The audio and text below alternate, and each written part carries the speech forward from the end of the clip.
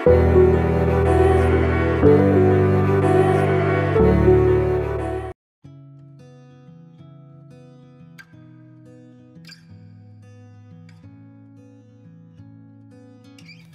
this is Michele Knight. This is the astrological update for Pisces.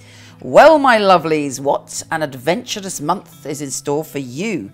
It kicks off with a new moon that is making you feel quite intense. And also, you might be focused on love, lust, passion, and power.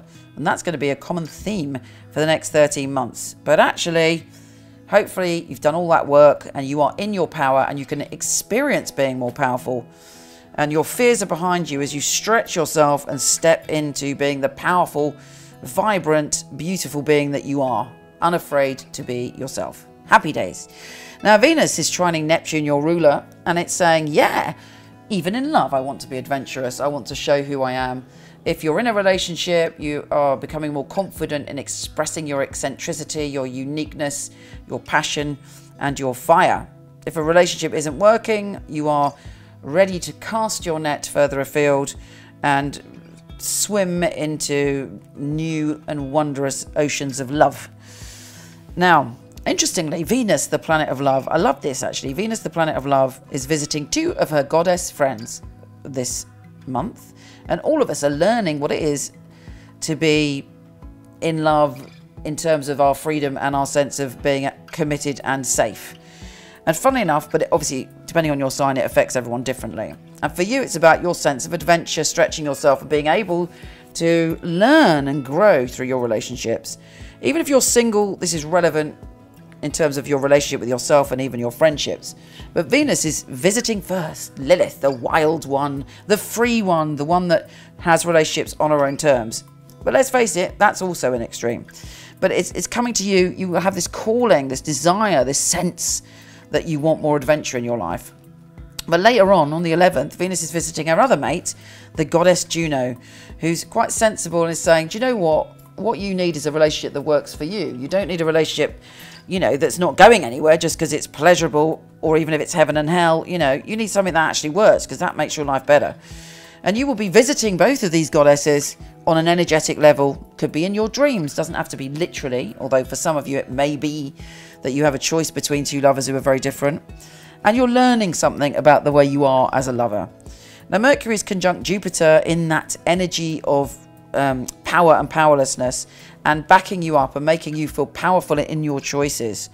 Also, on the 16th, there is a full supermoon, and this supermoon is making you more confident and more aware of your power and it can bring a financial matter to a conclusion for you there could be a, a what it could go either way but I'm, i like to think that it will be you seeing a way to draw more abundance into your life now all of that venus energy changes on the 18th as it goes into a much more sensible position and you'll be thinking about your career it may be that you turn your focus away from love and into your career maybe that you channel your passion into your career but either way you know, it's, it's all right, it's good. Um, Mercury's opposing Uranus in, in your, your money power uh, section. There may be a lot of stuff going on about you looking at your worth in terms of money and success, but you know what? Money can't buy you happiness, so they say. But certainly, if you want to increase it, it is possible. Although you may have a little. Um, I don't know. We're all, we're all going for a bit of a dark night of the soul on the 20th when Mars and Pluto are conjunct. Now, it's not necessarily a bad thing. It just brings about transformation of some kind. And for you, you may join forces or let go of or have a very strong reaction to something that's going on universally or in a group of people. So it could go either, it might be something in the world that you suddenly join uh, a protest, or it may be that you suddenly want to do some charity work, or it may be that in your work environment there's a massive change coming. You know, it could play out in many ways.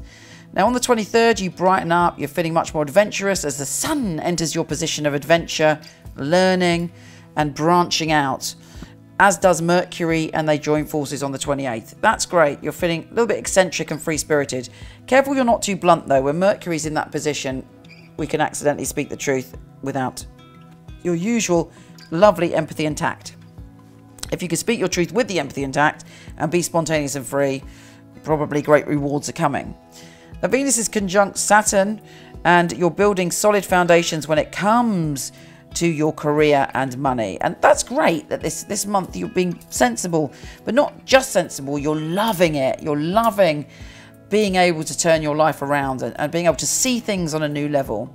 The new moon on the 30th, which allows us to let go of the past and start again and move on to a new cycle, is in your position of adventure, and you're like, yeah, you know, I'm feeling much more, much freer rather.